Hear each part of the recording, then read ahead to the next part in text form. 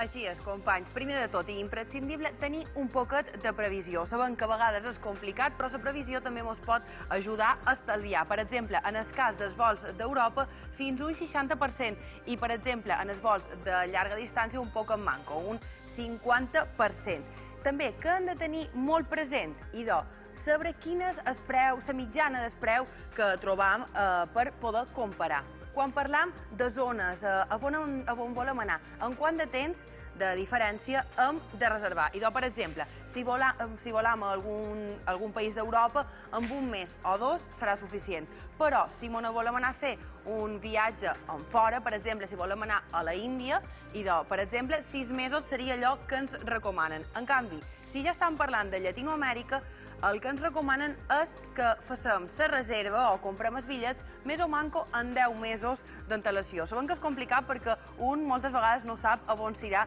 d'aquí dos dies i sabrà on s'irà d'aquí 10 mesos encara més. També, quan és més barat volar? Idò, per dies és més, barat, és més barat volar entre setmana, evidentment, i els dimarts i els dijous. Dimecres també, però sobretot dimarts i dijous.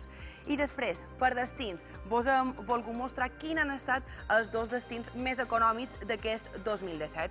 I de bé, quan parlant d'Europa, mos volen referir a Pisa, sí que és cert que sempre són vols que tenen sortides de Madrid o des de Barcelona, que està al voltant dels 50 euros, i si ja parlam arreu del món, i de Marrakeix, que podríem arribar a trobar vols eh, al país fins a 90 euros. Així que ja ho sabeu, companys, si heu de fer qualque viatge que és 2018, és ben hora de començar a mirar-ho.